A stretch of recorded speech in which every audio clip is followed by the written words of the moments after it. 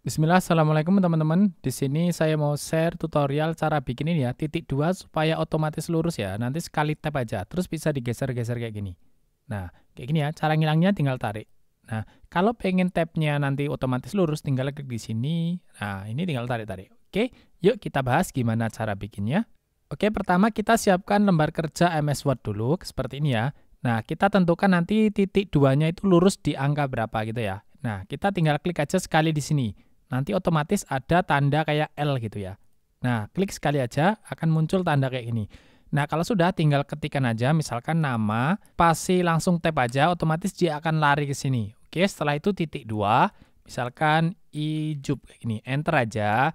Oke, terus misalkan di sini alamat rumah. Oke, langsung tekan tap aja. Nah, otomatis dia akan lari ke situ ya. Seperti ini, misalkan Seragian gitu.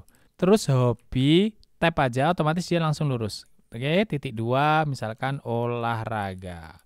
Nah, seperti ini ya. Kalau pengen deket tinggal kita blok aja Ctrl A, terus ini kita tarik ke kiri. Kalau ke kiri dia semakin rapat, kalau ke kanan semakin renggang. Nariknya jangan ke bawah kayak gini. Kalau kita ke bawah nanti dia akan hilang. Nah, kayak gini ya. Kalau hilang kayak gini otomatis nanti dia akan mepet ke tulisan sebelumnya. Nah, caranya gimana? Tinggal tekan sekali aja, otomatis dia akan lurus lagi. Nah, kayak gini ya. Kalau ini kita tarik ke bawah hilang. Kalau kita tekan di sini, otomatis dia akan lurus di sini. Tinggal tarik ke arah kiri sini. Oke, semoga membantu. Assalamualaikum.